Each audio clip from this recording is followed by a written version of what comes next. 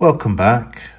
Well, this video is going to be about making the actual eccentrics uh, for the straps I made in the previous video. Um, the plans call you for you to use their castings, these three here, um, and machine them as a pair. Um, now, I've actually machined the internal eccentrics in the crankshaft as a pair, uh, and they're at 90 degrees to the crank here. So these will both be flat, that's 90 degrees. Uh, so I wanted to have some form of adjustment. Um, so I've made all of them into separate sort of halves or as an individual adjustable point. Um, so they've all got a grub screw in them here. And the ones that haven't got a flange on them have a grub screw going in through the bottom there. So these will be adjustable independently. So if there's any problem, which I've heard people can have, of getting them to run in reverse, etc., at least I've got some form of adjustment. Uh, so these effectively go on there.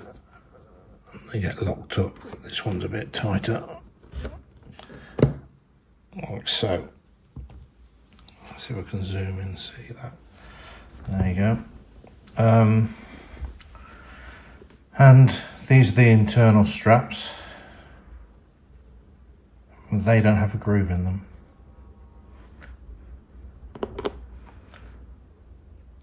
So, pleased with them. Um, I've now got to make the rods themselves uh, to go into here that goes up to the Stephenson link.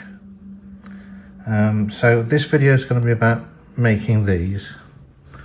Uh, the only bits I haven't shown are drilling the hole in there um, and I actually cut them off with the bandsaw after I've made them and I just faced the sides to the correct width. Uh, and I made this boss bigger for the grub screw to have more meat in it. Um, so I hope you enjoy it again and uh, hopefully uh, we should be on to the next part in a week or so. So enjoy the video. Thanks very much for watching